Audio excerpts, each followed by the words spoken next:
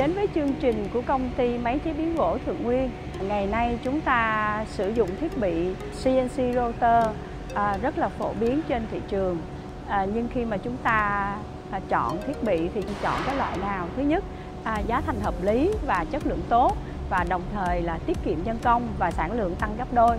À, thì hôm nay Thượng Nguyên à, sẽ giới thiệu đến quý vị một cái dòng máy gọi là máy à, CNC UC với model là UC481 thì à, như quý vị biết là à, đây là một cái à, cái cái sản phẩm được nhập khẩu nguyên chiếc. À, nhưng mà chúng tôi yêu cầu nhà máy là sử dụng những cái linh kiện rất là tốt nổi tiếng trên toàn thế giới như quý vị thấy. À, đây là một cái thương hiệu của SHD thì à, quý vị cũng đã biết là SHA EBS 951 là một thương hiệu đến từ Ý. À, và những cái ray trượt à, à bộ phận ray trượt này thì rất là nổi tiếng của Đài Loan à, và đồng đồng thời nữa là cái máy đặc biệt này hai bàn làm việc.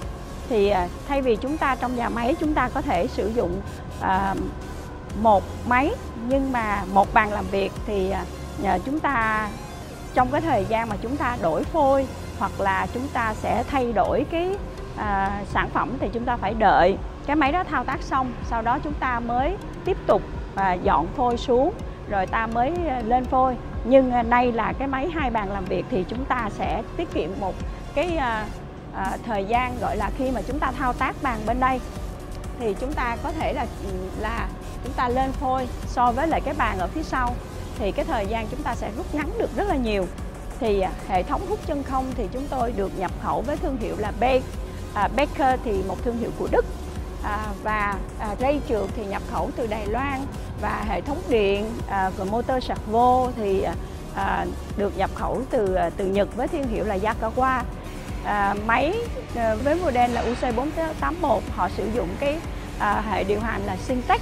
Mà quý vị cũng đã biết là hệ điều hành Syntec là một thương hiệu à, của Đài Loan và họ có mặt khắp nơi trên thế giới. Và đồng thời là họ cũng sử dụng là hệ thống điện bằng Schneider thì quý vị cũng biết là hệ thống điện Schneider thì một thương hiệu của châu Âu. À, và hơn nữa là cái à, hệ thống biến tầng. Hệ thống biến tầng thì họ sử dụng được là Delta. Thì những cái thương hiệu đó thì nó ừ, góp phần một phần tất yếu và cái máy nó được ổn định hơn. À, thì đây là máy CNC rotor hai bàn. Chúng ta có thể một máy nhưng mà chúng ta có thể sử dụng chi tiết khác nhau. À, ví dụ như đây chúng ta có thể đây chúng tôi đã làm cỡ sẵn. Cái này là những cái thanh của ghế à, những cái thanh những cái ờ, dụng cụ của ghế chúng ta sẽ chỉ cần đặt một tấm ván lên trên đây thì chúng ta sẽ làm cỡ trên cái phần này. Thì hút chân không lực hút chân không sẽ hút xuống và chúng ta có thể thao tác à, hai bàn làm việc à, thao tác hai sản phẩm khác nhau cùng trên một máy. À, đó là cái thuận tiện của cái máy à, CNC rotor này. Thì à, à, đó là một vài thông tin tôi muốn chia sẻ đến quý vị để cho quý vị có thể là chọn đúng cái thiết bị mà nhà máy của quý vị đang cần và sau đây mời quý vị xem thao tác máy.